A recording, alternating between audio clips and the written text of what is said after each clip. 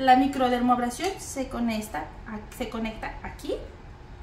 Posteriormente, esta es tu plumilla. Aquí vas a depositar un filtro y posteriormente la punta.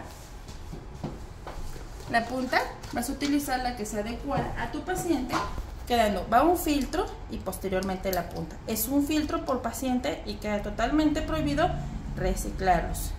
Y lo encendemos aquí. Este ya viene por una succión, como te comentaba, bastante buena. Si tú deseas tener más succión, lo podemos ajustar en esta perilla. Lo cual no lo creo conveniente, creo que como viene es bastante buena para evitar rayar la piel de tu paciente.